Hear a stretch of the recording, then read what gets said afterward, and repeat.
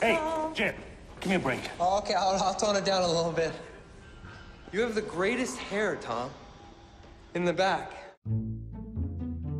How are you doing, Jerry? They like me at work. Do you want to get a drink? Uh, There's a girl. I like her. Are you good with cats? No, the real question is, are cats good with me? Because they pretty much own us. Oh my god.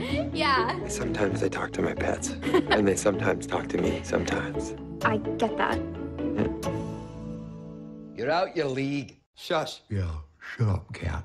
Do you ever hear voices? Not really. Jerry, Hey, Fiona. In her eyes, you're a ridiculous peasant. Kill her, and you will discover what it feels like to be truly alive. Don't run! Mr. Whiskers, he makes me do bad things. you totally stopped taking the pills, didn't you?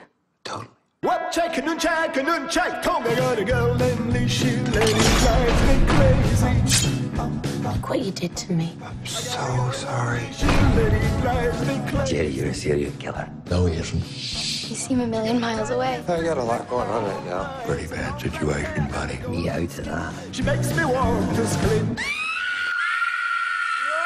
Mr. Whiskers! Dr. Warren! Fiona, cut it out! Pretty complicated inside the human mind, huh? What check and uncheck and uncheck. Oh, the best night of my whole life. What a fab cracking day to come back. You're so mysterious. It's cool. Do you remember last week when you said there is an invisible line that separates good from evil, and you thought you'd crossed it, and I said, no, no, no, you're a good boy? Yeah, I remember. So what? I've changed my opinion.